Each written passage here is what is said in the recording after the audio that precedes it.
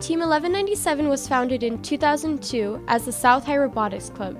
Originally, we were the only team in the Torrance Unified School District.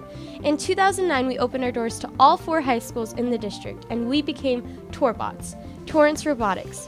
For the past 18 years, our team has inspired robotics enthusiasts of all ages. One of my good friends from middle school, his older brother was actually a founding member of this team and he came to me and he told me, oh, you got to join this club. My brother loved it. They build robots. And I was like, you know, I was what, a 13-year-old boy. Of course, I wanted to join a robotics team. Since opening our doors, Torbots has provided the resources and opportunities to nurture children's interest in STEM. Our team recently held a robotics workshop for dozens of Torrance Elementary School students at the first West Coast Camp Nerdling event hosted by our school district. Torbots also supports and mentors five First LEGO League teams at our local middle school.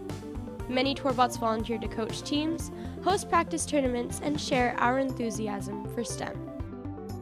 Many students are interested when they talk to us and when they visit our shop during build season.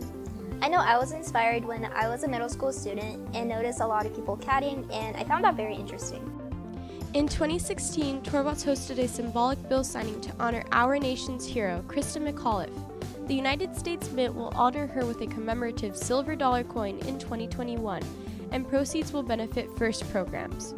The event was attended by many local FIRST teams and our Congressman, Ted Lieu. What you're doing here is so helpful, uh, not just uh, for your own livelihoods, but also for the future success of our country.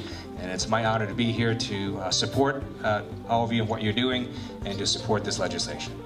Torbots provides many opportunities to grow as leaders and shape our education. Torbots is really important because it provides the opportunity for hands-on learning. What really drives students to learn is when they have a new machine they don't know how to use, like the CNC machine. They spend hundreds of hours researching, and then not only can they use the machine, but they can make more complex parts for other local teams as a way of giving back. With help from Team 1197, we were able to build a climber for the 2019 FRC Championship.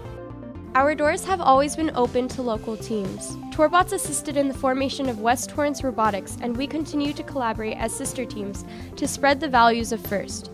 By connecting with our community, we hope to inspire the next generation of STEM leaders. When I was on the team, my father was our only real full-time mentor, and uh, he really brought in his coworkers and I was able to meet amazing uh, engineers that I still talk to today who have gone on and many of them have gone on to mentor other FRC teams and uh, they just set such a great example for me and I've tried to emulate that for the Torbots today.